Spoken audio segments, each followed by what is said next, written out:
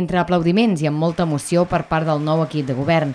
Així és com va constituir-se aquest dissabte al migdia l'Ajuntament de Sant Feliu de Pallarols, que canvia d'alcalde i de color polític després de dues dècades amb Joan Casas com a batlle. Com era previsible, el candidat més votat a les eleccions municipals, Artur Colomer, va sortir escollit amb els 5 vots dels regidors d'Units per Sant Feliu, la candidatura adscrita a Esquerra Republicana. Afrontem el projecte amb molta il·lusió, amb moltes ganes de poder per treballar per un bé comú per Sant Feliu i per tirar endavant l'Ajuntament de la millor manera possible.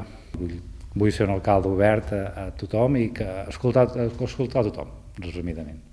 Els portaveus dels dos grups de l'oposició, Fèlix Castanyer de Junts per Catalunya i Joan Casas de Connectats amb Sant Feliu, també van presentar la seva candidatura. Tots dos comencen una nova etapa al consistori des de dos grups diferents, amb dos regidors cadascun, després de formar part de l'anterior equip de govern. Castanyer ha assegurat que treballarà per reforçar la bona entesa entre els veïns. Nosaltres, des del primer minut que ens vam presentar, vam decidir que una de les coses importants a Sant Feliu és que faltava una cohesió social i, i lluitarem i treballarem per, per aconseguir això.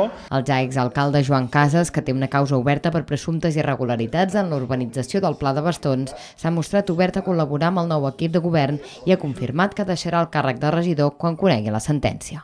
Un cop s'hagi solucionat aquest tema, que llàstima que la justícia sigui tan lenta, perquè penso que aquest tema s'ha de solucionar el més aviat possible. Llavors me toca descansar del món de la política, me toca treballar de manera ja individual i eh, col·laborar amb l'Ajuntament que hi hagi. Es dona el cas que Francesc Prat, denunciat de cases i antic regidor a l'oposició, torna a l'Ajuntament com a part de l'equip de govern.